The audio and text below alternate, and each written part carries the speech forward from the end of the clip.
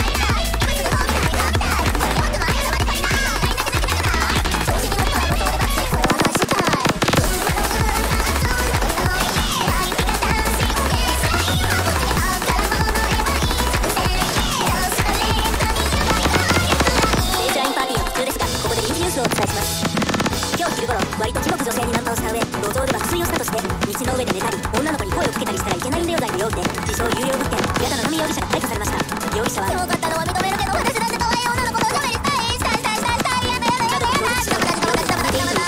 ニュースをお伝えしましたひどい目にあった。反省文もたくさん書かされたし女の子からパンチもされた。諦めない。